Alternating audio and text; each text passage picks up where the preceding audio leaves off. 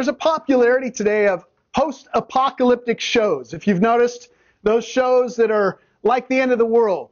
Some great disaster occurs, or aliens invade, or whatever it may be, and it's all about people trying to survive without food, without grocery stores, without provisions, and so they have to go out and get it on their own and defend themselves. And I don't know about you, but being a guy, I like that kind of thing.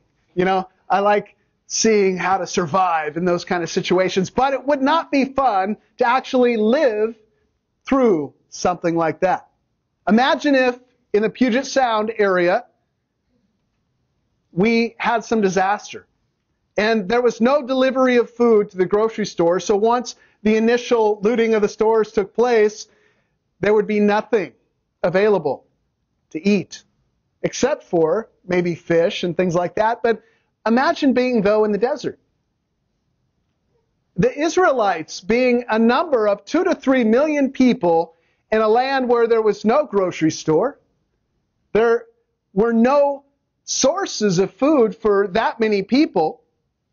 And here they are in close proximity and they're hungry. 30 days had gone by and no food.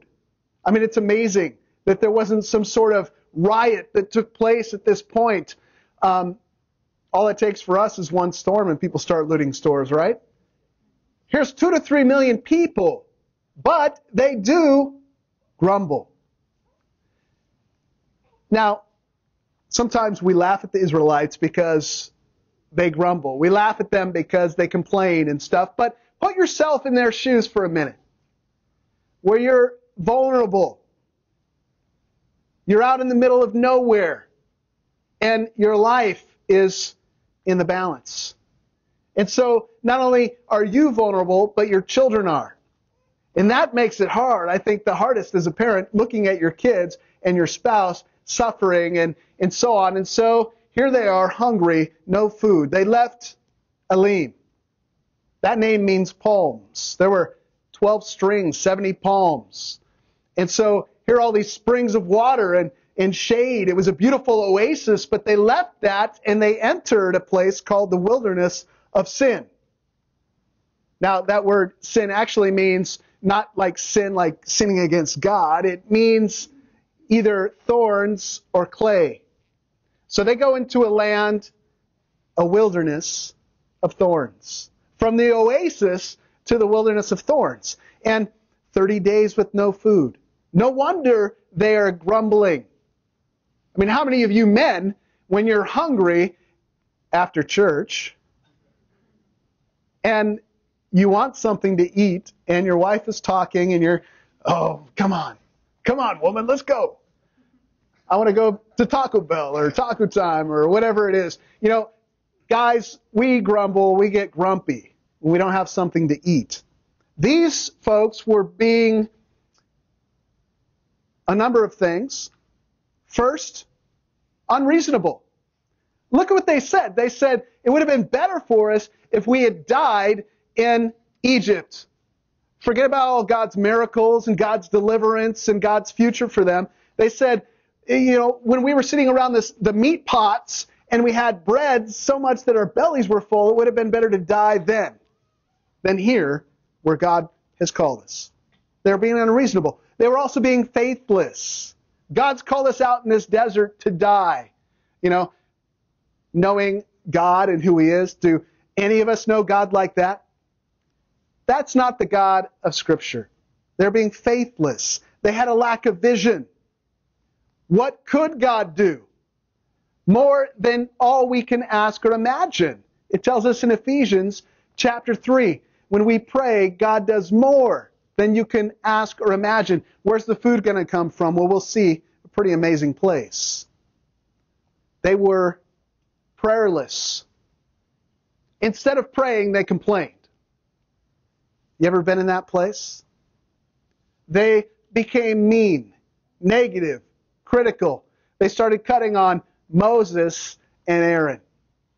Now, later on in verse 8, what they didn't realize what they were really doing in their hearts, it tells us there that your grumbling is not against us, but against who? God. It's against the Lord. And so they didn't realize all these things going on in their heart were against the Lord, not trusting. But in spite of all of that and their misbehavior, God is a gracious God. He turns their grumbling into a prayer request, not because they deserved it, but because God is good. And He says, Okay, I hear that you have a need. Instead of thumping them like He had the justification to do. Well, in verse 4, it says, And the Lord said to Moses, Behold, I am about to rain down bread from heaven for you, and the people shall go out and gather a day's portion every day, that I may test them, whether they will walk in my law or not. Now we learn that through reading this passage, God sends quail in the evening. So every evening they have meat, as much as they want. And in the morning, they are given manna. So they wake up and there's dew on the ground, and when the dew dries up, what's left behind is this manna. Now the quail was a natural, common thing that you would see and possibly eat in that part of the world, and they were used to that sort of food. But manna was very different. Manna was supernatural. The word manna actually means, anybody know? What is it? Exactly. In Hebrew. What is it? Why? Because they had no clue. They'd never come across anything like this on the face of the earth before. Psalm 78 tells us this. Yet he commanded the skies above and opened the doors of heaven, and he rained down on them manna to eat and gave them grain of heaven. This isn't grain from earth. Man ate the bread of who? Angels. Now that's a pretty good meal eating bread from heaven, the food of angels. God was gracious. God was good. He did more than all they could ask or imagine. He went beyond and provided food from heaven. Now, in verse 31 of chapter 16, if you were to look down there uh, in your Bibles, it says it was like coriander seed, white, and the taste of it was like wafers made with honey. So, God doesn't make junk. He made some awesome food for these folks. Now, God sent the manna for two reasons, it says in verse 4. Well, the, the first reason's implied, I should say. The first reason is that God just provided for his people so that they had food to eat, so that they could survive. So God provided, number one. But the second reason is that God sent the manna to test them, to test to see if they would obey. Now, what was the test? The test took place in their hearts and was manifested in their actions, did they really trust God to provide food every day? God wanted to teach them a lesson. It's a, it's a difficult lesson. It's called dependence. Daily dependence on God who provides. Not dependence on the government, not dependence on your, your, your job or anybody else on the face of the earth, dependence on God who provides. The dependence for us might seem like a bad word.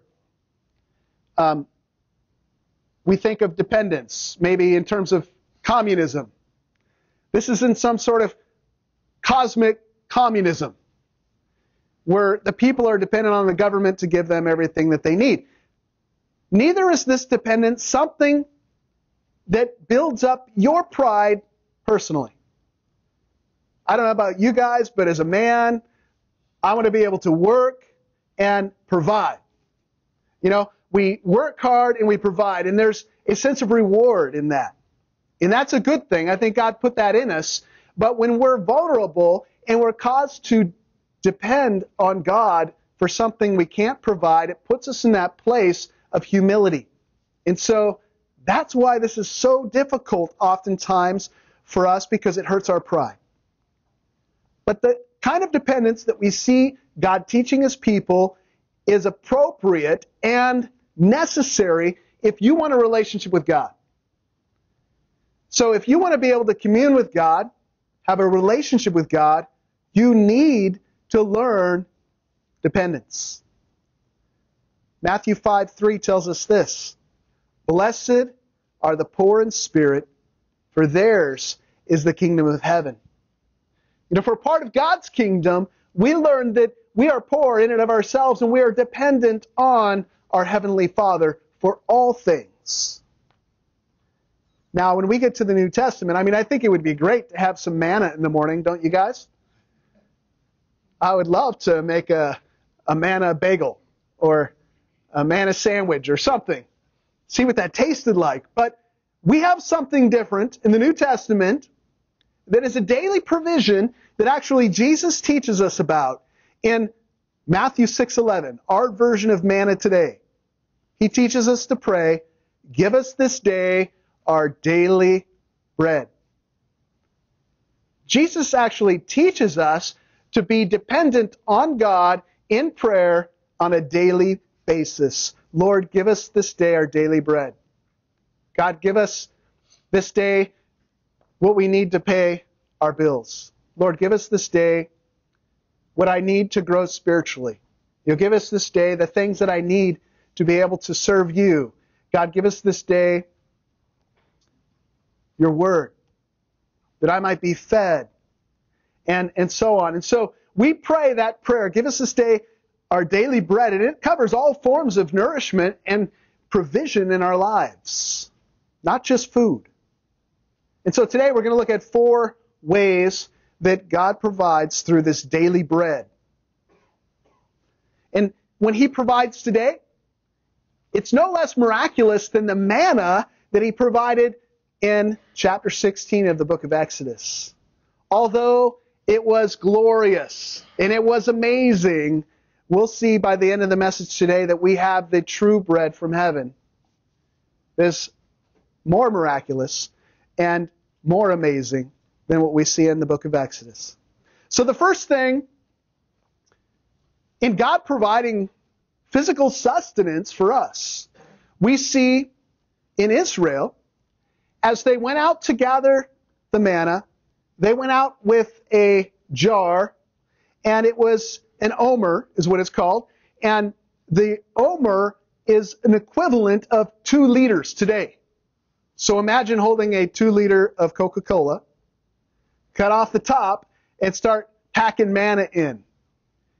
God said, I want you to go take an omer of manna for each person in your household, or literally here, in your tent, because they were out camping, by the way. And so each person took what they needed. Some took more, some took less, but there were some, though, that disobeyed. Remember, the test was to see if they would be dependent on God and obey. And they failed the test. Look in verse 20 and 21. It says, But they did not listen to Moses. Some left part of it till morning, and it bred worms and stank. And Moses was angry with them. Morning by morning they gathered it, each as much as he could eat. But when the sun grew hot, it melted. We see a supernatural occurrence with those that disobeyed. They took the omer and more and kept it in their tent. Maybe they were thinking, I'm not sure if God's going to provide tomorrow.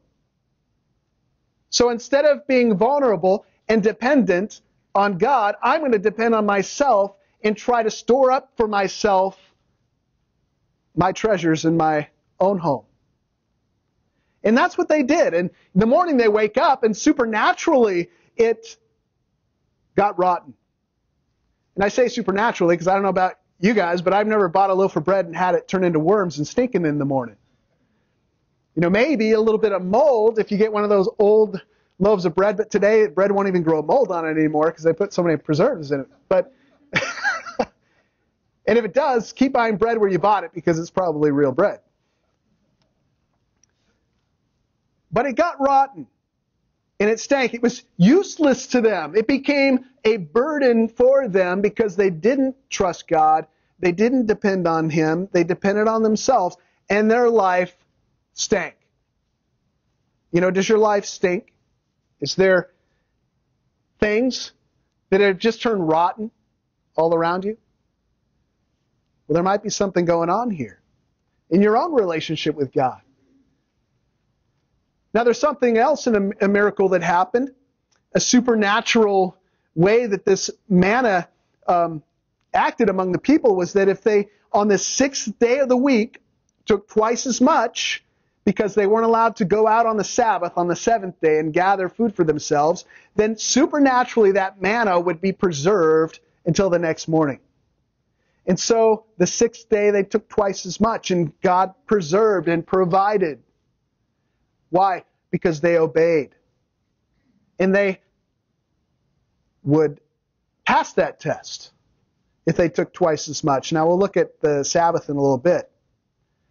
But one other thing I want to point out about the manna, if it didn't go rotten and it wasn't preserved, um, it was still out on the ground. And what happened to it? The sun came up and it melted. That's another supernatural thing. I've never met a loaf of bread that melted before me. So if it was not collected, it melted away. Why? Because God wanted a daily dependence. If it was still there all through the day, guess what? They didn't really have to trust, did they? But because it disappeared and it melted away, then the evening came and they wondered, is God going to provide tomorrow? Now, of course, we know the story. He, he does it. For 40 years, he does this. But aren't we sometimes in that place where we think, will God really provide this time? He has in the past. He's always taken care of me. You know, I've never gone hungry, and there's evidence of that, right? But sometimes we wonder, will he take care of me this time? So, what God wants us to learn in terms of our own sustenance is that He'll provide food and clothing and shelter and a paycheck and material possessions, whatever we need. The things that we have today, the things that He's provided thus far, are no less miraculous than the manna showing up every morning. In Psalm 145, verse 15, it says, The eyes of all look to you, and you give them their food in due season. You open your hand, you satisfy the desire of every living thing. And so, you know what that's saying is that God feeds even the birds even the deer. I've been waking up around five in the morning, and that's about the time the deer come into my yard. There's like six or seven of them now every morning, eating off my fruit trees and my dead grass, which they can have as much of that as they want, I guess. God feeds the animals. He takes care of all of his creatures. How much more does he take care of you? And that's what Jesus teaches us in Matthew chapter 6. He taught us don't be anxious about your life. How many of you guys are obeying that right now? Do not be anxious about your life. And then he explains will you eat or drink? And then he says, don't be anxious about your body. Right, ladies? About clothes. Your father knows what you need. He knows what you need more than you know what you need. And so Jesus goes on to explain this great principle that we see at work in Exodus 16 as well, this timeless truth. Matthew 6:33. But seek first the kingdom of God and his righteousness, and all these things will be added to you. What are all these things? Well, all the things that you need. God gives us what we need. He doesn't give us according to our greeds. So what we might mistake for God's lack of provision might be our misunderstanding because we're greedy and He's not providing according to our greeds. But when we step back and we see how God's provided according to our needs, then we begin to sit in amazement and with thankful hearts, joyful hearts, because our God is a God that supplies. He's a God who provides. There was a time when Marianne and I, we didn't have any kids yet, and we were young married, just started in ministry, I think we were living off $600 a month or something like that. And we didn't have any food because something had gone on, and and we didn't really tell uh, a lot of people close to us what was going on. Um, I think only one person knew. And we came out of church one Sunday after serving with the youth and having that great time of fellowship, and we opened our car door to find the car packed full of Costco groceries. I mean, so, you know, bags of stuff, huge boxes of stuff, and from the floor to the ceiling. Our car was full. You know, that to me was a miracle that God took care of us. I was so worried about it. You know, being the man, but God took care of us. It's part of what the church is for, too, you know. Some of us are too proud to share. We have a need, but there's a lot of us that want to serve. A lot of us want to take care of one another, and you know, sometimes your pride might keep that from happening. So, if you got that much pride, guys, remember that word dependence. Depend on the Lord. Too much stuff We'll turn to worms and stink. And that's one other thing that happens in our life. We amass all these things, all these treasures, and it seems like the more stuff you have, the more maintenance there is, and the more money you spend. Right? I mean, I was laughing the other day because my father in law was telling us, you know what BOAT stands for, don't you? I was like, no, what? Bust out another thousand. so if you've been thinking, oh, I wish I had a boat, remember what BOAT stands for. Sometimes those things become a distraction. Now, sometimes God's gifted people to um, oversee uh, things like that, and I just know I'm not. I could hardly keep oil in my cars. So, but whatever happens, we give God the glory. Look at verse 7. It says, In the morning you shall see the glory of the Lord. In verse 12, At twilight you shall eat meat and in the morning you shall be filled with bread. Then you shall know that I am the Lord your God. You know, I think what was the glory of the Lord in the morning? Well, the glory was to wake up and see God's provision. It magnified the fact that God's our provider, that God is faithful, and that He's good, and that He's caring and loving.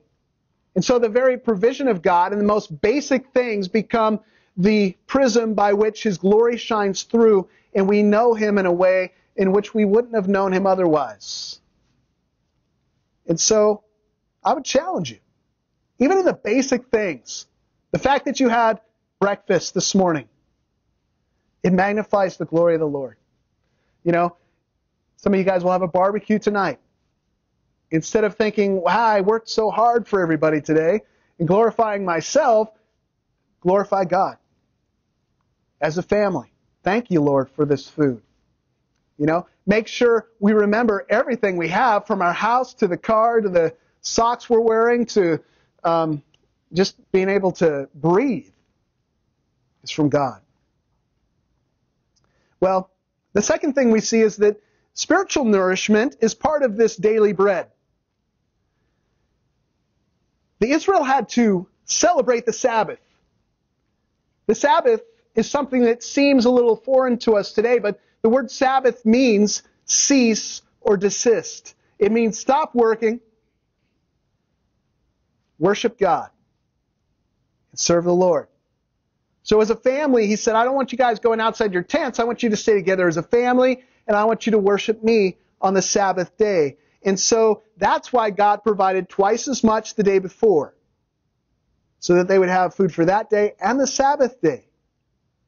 But sure enough, there were some who disobeyed, and they went out Saturday morning to look for manna, and when that happened, there was no manna. Just like God said, I won't provide on that day because I've already provided the day before. But when you go out there, or when they did go out there, God was angry. He was upset because they weren't being dependent. They weren't being obedient. They went out in their own strength. And so, instead of trusting in what God said, they trusted in themselves. God was a little upset with them. But in this, understand what's going on. God puts on the Sabbath day spiritual food before physical food. Today, you observe me. Food's taken care of. Why? Because I want you to be fed with my word. And so this physical lesson teaches us a great spiritual truth. Deuteronomy 8 3. Moses is looking back upon this time and he says this. And he humbled you and let you hunger and fed you with manna, which you did not know, nor did your fathers know, that he might make you know that man does not live by bread alone. But man lives by every word that comes from the mouth of the Lord. And so if you thought your daily bread being food was the main priority, we learn that's just to keep you alive so that you can continue to worship God. And so we have a couple of examples in the Old Testament of spiritual food sustaining men. Moses, after he had broken the Ten Commandments, and he went up a second time to get the next set of Ten Commandments, God revealed his glory to him. Well, the tail end of it anyway. If he saw the fullness of God's glory, he would have been killed. And he came down that mountain glowing physically because of his time with God. But one of the things it tells us about his time on the mountain is found in Exodus 34, verse 28. It says, So he was there with the Lord 40 days and 40 nights. He neither ate bread nor drank water. And he wrote on the tablets the word of the covenant, the Ten Commandments. And so he's with God for 40 days and 40 nights, eating and drinking nothing, yet he survives. God magnifies the truth that the spiritual nourishment from him is so much more important than food. Elijah. He ate the spiritual food. When Jezebel wanted to kill him after he had defeated the prophets of Baal on Mount Carmel. Look what it says in 1 Kings 19. And the angel of the Lord came again a second time and touched him and said, Arise and eat, for the journey's too great for you. And he arose and ate and drank. And he went in the strength of that food 40 days and 40 nights to Horeb, the mountain of God. 40 days and 40 nights he was sustained on one meal that an angel helped him eat. He went to the mountain of God to meet with God. You see, there's a spiritual food that's so much more important that we need to focus on. Sometimes we get caught up in all the physical stuff sometimes. Jesus spent 40 days and nights in the wilderness eating no food, and Satan showed up and said, Hey, why don't you turn this rock into a piece of bread? You know, Christ was hungry. This was one of the temptations. And in response, Jesus quoted Deuteronomy 8 3. Man shall not live by bread alone, but by every word that comes from the mouth of God. Are you dependent on God for your, your spiritual food? Church. Church is like our Sabbath today. We call it the Lord's Day. The families come together and we worship and we hear from the Word and we're fed and we, we experience fellowship. And so we set aside a day, a time to worship and serve the Lord. It's so important, so key in our relationship with God. But where does that fit on your priority scale? Is it something that you do set aside? And you say, well, it's going to cost me time at work, it's going to cost me time golfing or whatever it may be so that I can be fed, so that I can meet with the Lord. Or how about morning devotions? Waking up in the morning is sometimes really hard to do, right? we try to wake up close to the time that we leave to work. You know, just enough time so we can get a shower, shove something in our uh, face hole, and, and get moving on. And so, devotion time, I think it's really important that we spend time with God as Jesus did. He woke up while it was still dark and he prayed. You see, it's for us this great example of spending time with the Father and being fed on a daily basis. But what oftentimes competes with that is busyness, tiredness, maybe our breakfast, whatever it may be. But, you know, we need to be fed in the Word. Open up the Word and hear what the Lord has for us. We need to be fed in that time of prayer. And some of us are walking around eh, spiritually anorexic. We haven't been eating and we can't figure out why we're not healthy. What's going on? And sometimes it happens in the form of fasting. Jesus even teaches us about fasting in Matthew um, chapter 6.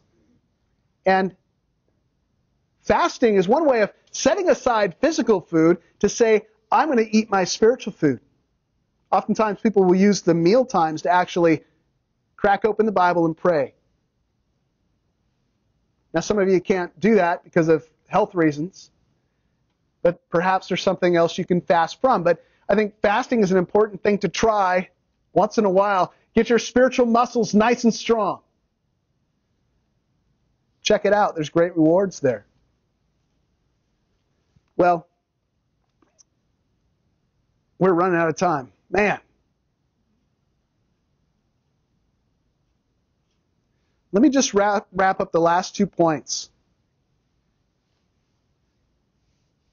One other thing we see about God providing spiritual food is opportunities to do the will of the Father. That might sound really strange to us because we equate food as in taking things in. You know, feed me a meal or give me a message from the Bible. And so there's this intake, and we think that is nourishment, but there's a part of nourishment that is an outflow.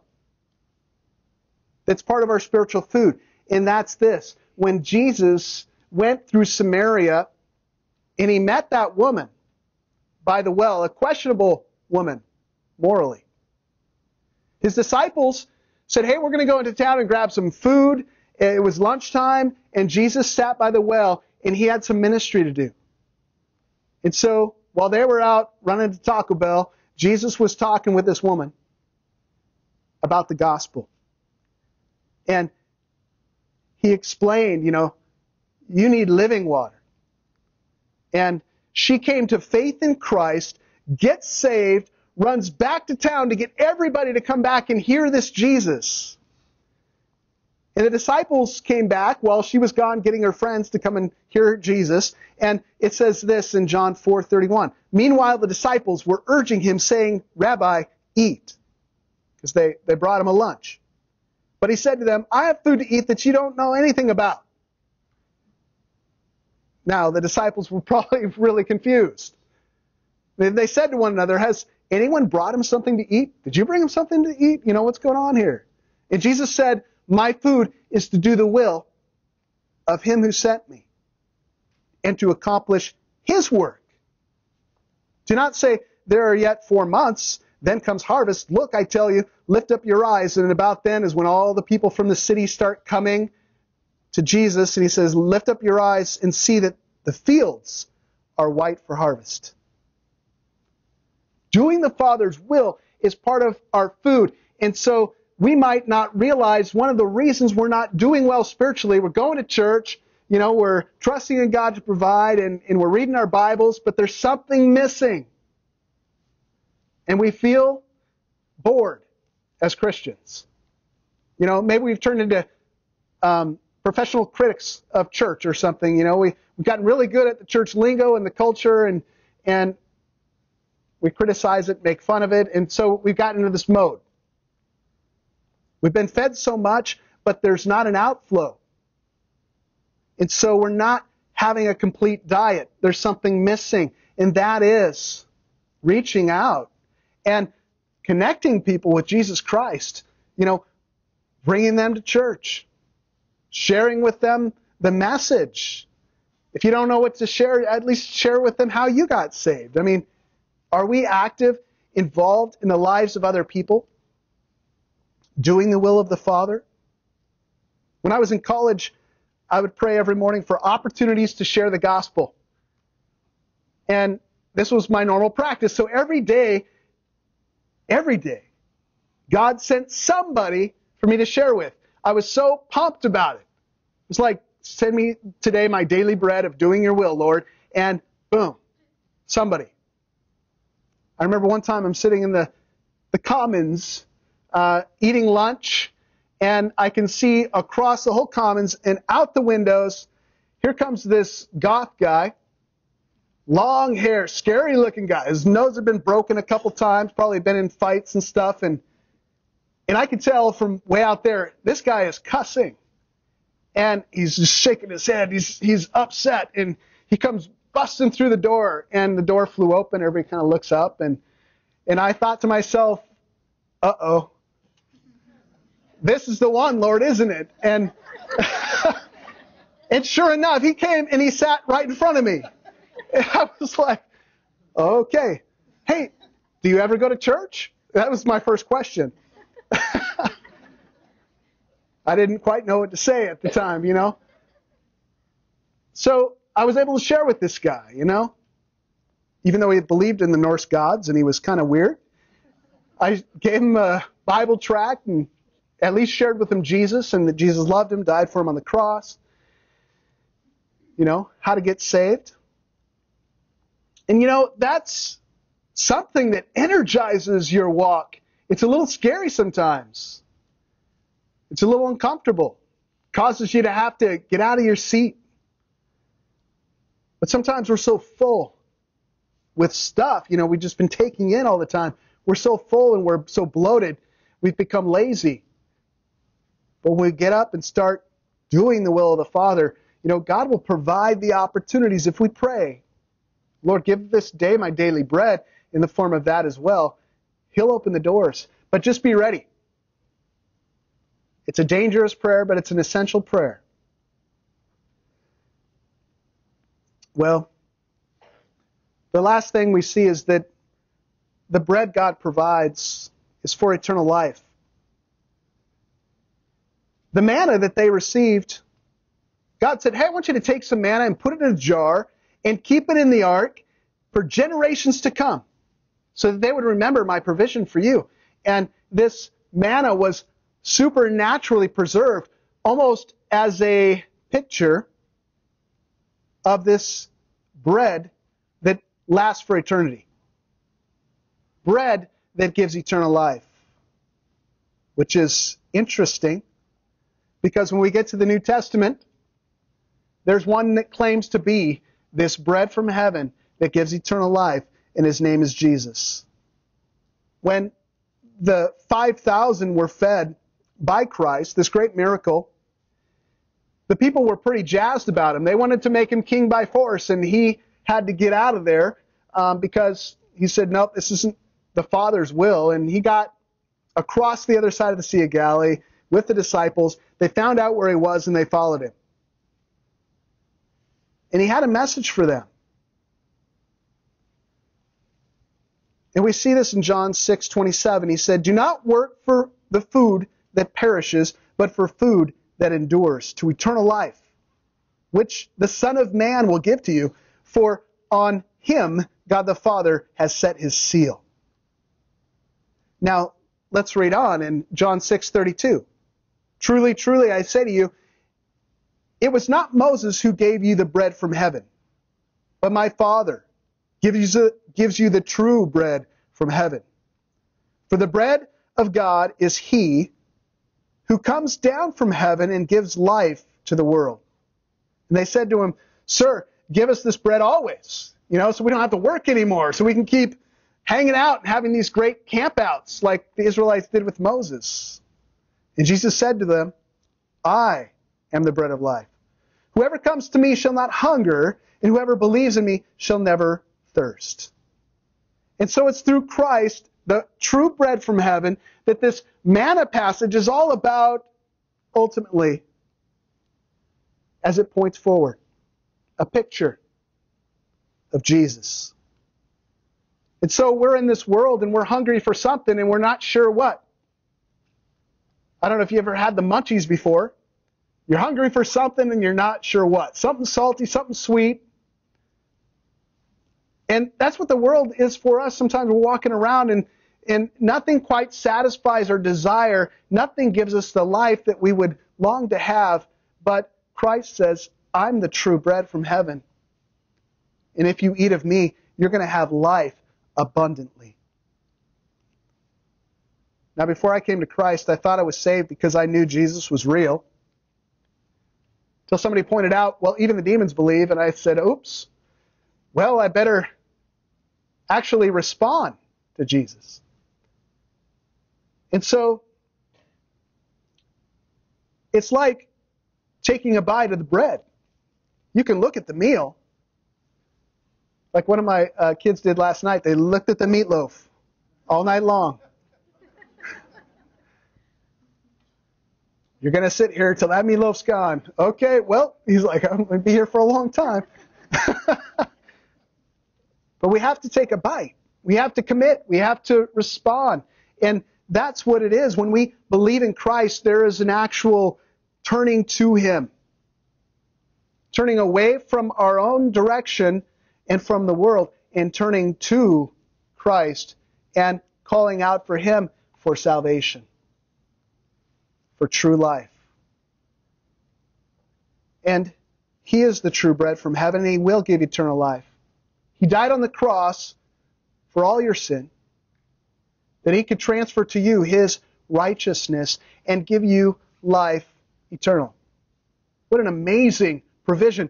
Even though we were grumblers, God sent the bread from heaven anyway. Even though we weren't looking for Him, He looked for us. And today, He's looking for you. And He's calling out your name. Will you commune? Will you take a bite? Will you trust in the Lord Jesus Christ today? You know, if that's where you're at, you know life has been empty and you're still hungry for something, you're going to find eternal life, true life, abundant life in Christ. And so let's respond to Him now. If, if you've never accepted Christ, like me, maybe you've believed that He's real, maybe today is the time to respond and begin that eternal life. Let's pray. Lord Jesus, I thank you for coming to this earth, for dying for my sin. I receive that payment. I receive the righteousness that you gift me with in this brand new eternal life.